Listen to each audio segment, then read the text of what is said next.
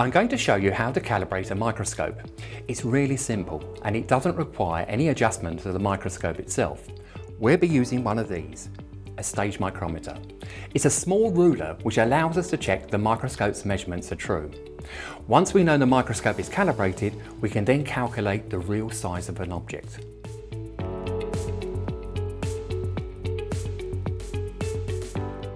Let's explore the components of a microscope in a little more detail.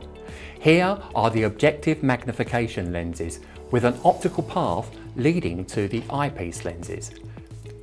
Inside this optical path from the subject stage is a prism which allows me to view the object from overhead at a comfortable viewing angle.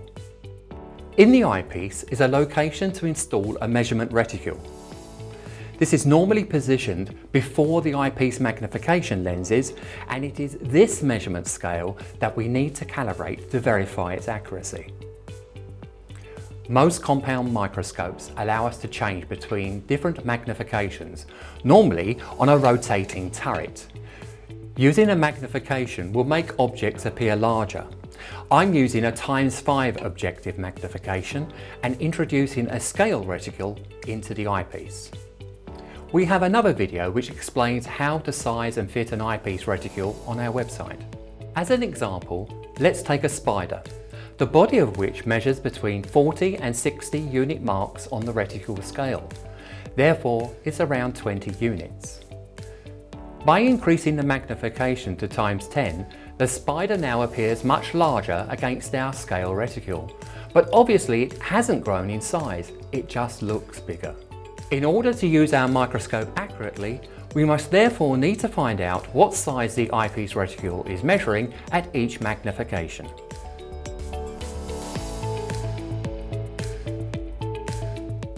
I've got a couple of stage micrometers here. They're the same size as a standard microscope slide. On the glass disc, we have a small, precision, fine line scale image. This professional stage micrometer comes in its own wooden box with a unique serial number which makes it ideal for certification as an international calibration artifact. My second stage micrometer has an identical pattern on the glass disc, but this time in the centre of a lower cost black aluminium carrier. The advantage of these carriers is durability, should it be accidentally dropped or damaged. Stage micrometers come in different sizes and lengths, you should choose a scale that best matches the scale of your reticule and the object magnification you're using.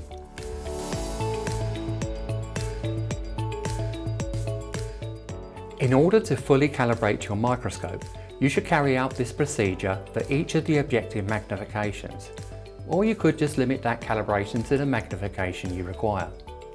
We're going to use the times 10 objective with an eyepiece reticule which is 10 millimeters in 100 divisions, and a stage micrometer that is 1 millimeter scale length. Placing the stage micrometer onto the subject stage and finding the focus, we can see the best match between the two. We need to align the scales one over the other, moving the stage micrometer so the zeros align on the left-hand side correctly. However, the stage micrometer finishes here, while the reticle scale is a little longer.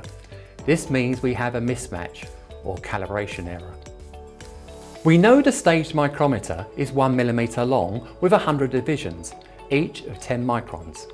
If 100 divisions are 1mm, then half of that, 50 divisions, is half a millimetre. The reticle scale inside the microscope also has 100 divisions. And with our example of a times 10 objective and a 10 millimeter reticule, the 1 millimeter micrometer should match exactly. And if we bring them together, they do, apart from a small error towards the end, here. 99 reticule units or divisions match perfectly, which means 99 is equivalent to 1 millimeter in length. Therefore, for this objective, we can calculate the size measured by dividing 1mm by 99, which equals to 10.1 microns per reticule division.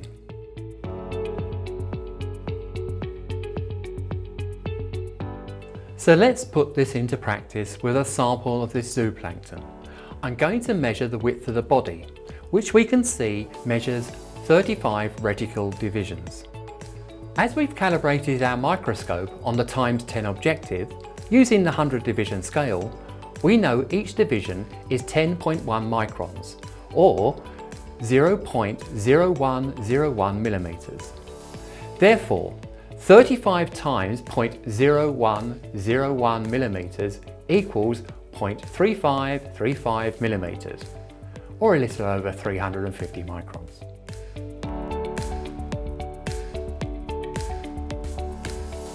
There are many different models of stage micrometer with different scale lengths and patterns. Whether buying something off the shelf or custom made to meet your own measurement requirements, they all have one thing in common, to help you calibrate your microscope accurately. The scales and lines are manufactured to a very high standard with great precision and accuracy. But how do you know the stage micrometer is correct? You'll remember earlier when I showed you this stage micrometer I mentioned it had a unique serial number. This means the product can come with an internationally traceable calibration certificate.